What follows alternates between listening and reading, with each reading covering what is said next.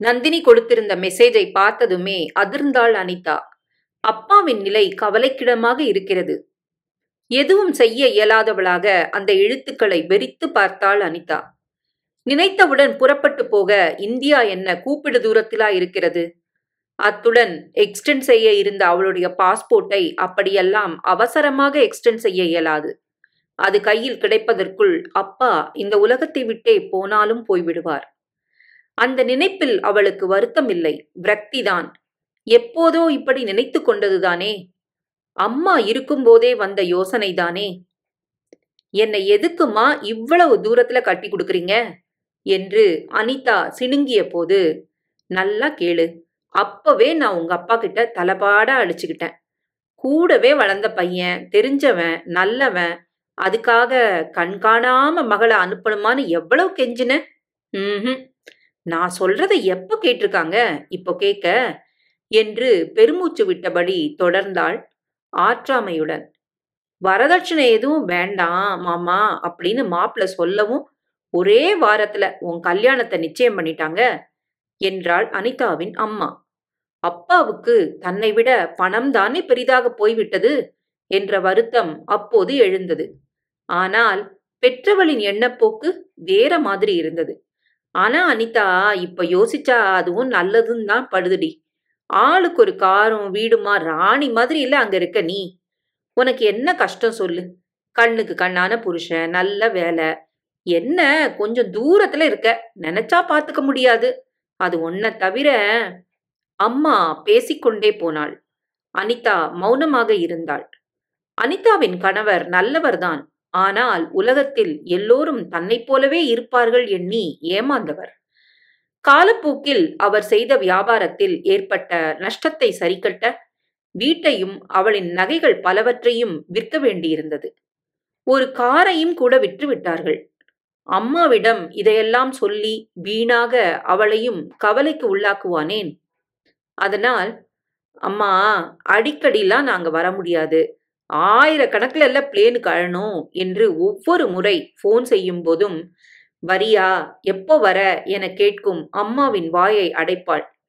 நாங்க இருக்கிற வரைக்கும் தானடி வந்துட்டு போற? போனப்புறம் வந்து என்ன ஆக போகுது? மாப்பிளைய கேட்டா டிக்கெட் எடுத்து கொடுக்க போறாரு. என்பாள் அம்மா. இது போல உரையாடல் அடிக்கடி நிகழும் அவளோடு. இப்படி ஏதோ ஒரு முறை வந்து அம்மாவை பார்த்ததுதான். அதுதான் அம்மாவை கடைசியாக பார்த்தது. அப்பாவை எப்போது இறுதியாக பார்த்தோம்? என்று யோசித்தாள். மூன்று வருடங்களுக்கு முன்னர். அதற்கு முன்னால் ஒரு முறை போனபோது உங்களுக்கு என்ன வாங்கிட்டு வருதுன்னே தெரியலப்பா. நந்தினிக்கு ஐபேட் அம்மாவுக்கு பாதாம் பருப்பு கோகோ சாக்லேட் என்று அவள் சொல்லிக் கொண்டிருக்கும் போதே அப்பா குறுக்கிட்டார். அங்க சாக்லேட்லாம் மலிவா கிடைக்குமாமா நீங்க சாப்பிடுவீங்களாப்பா? ஆச்சரியத்துடன் கேட்டாள் மகள். அப்பா ரொம்ப ஆசாரமானவர். மணிக்கணக்காக பூஜை அறையில் உட்கார்ந்து ஸ்லோகங்கள் எல்லாம் சொல்வார். அப்பா அலட்சியமாக பதிலளித்தார். கையாலையாமா பண்றான் எல்லாமே மெஷின் தானே. அவ்வளவுதான் சொன்னார். எனக்கு தா என்றோ அடுத்த முறை வாங்கி வா என்றோ எல்லாம் அவர் கேட்கவில்லை.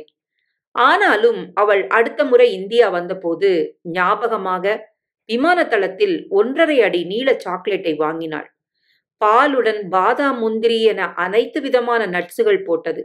அதை கையில் வாங்கி கொண்ட அப்பாவின் முகம் பிரகாசிப்பதை மனக்கண்ணால் கண்டு ஆனந்தப்பட்டாள். அவளை வரவேற்க பெங்களூர் விமான நிலையத்துக்கே வந்திருந்தாள் நந்தினி.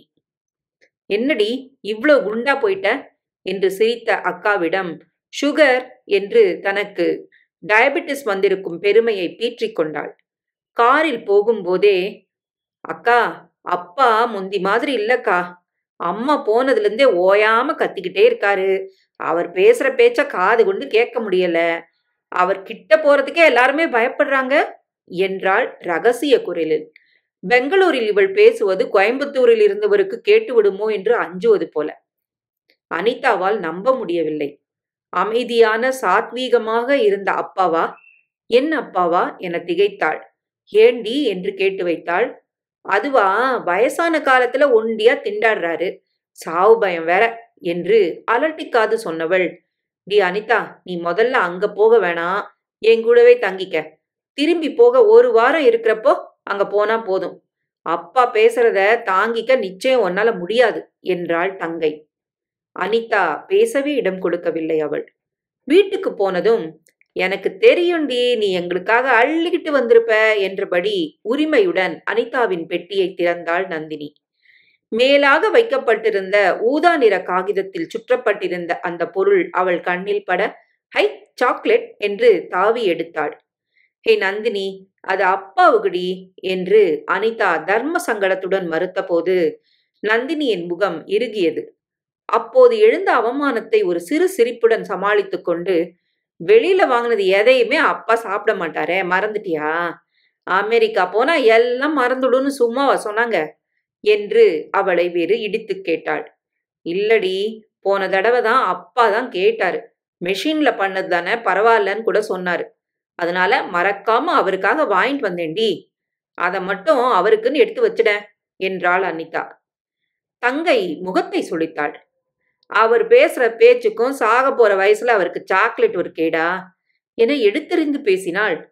உடனே அனிதா நந்தினி உனக்கோ சுகரு சாப்பிட முடியாது. அதுவும் சாப்பிடவும் கூடாது. அது அப்பாவுக்கு என்ற அனிதாவின் மறுப்பை அலட்சியம் செய்தாள். வெளியில வச்சா உருகி போயிடும் என சொல்லி ஃப்ரிட்ஜுக்குள் பத்திரமாக அதை எடுத்து வைத்தாள். வெளிநாட்டுல சீரும் சிறப்புமா இருக்கிற உனக்கு? தங்கைக்கும் ஒன்னோ ரெண்டோ வாங்கிட்டு வரணும்னு ஏண்டி தோணல? சரியான கருமிடி நீ என வெளிப்படையாகவே திட்டினாள்.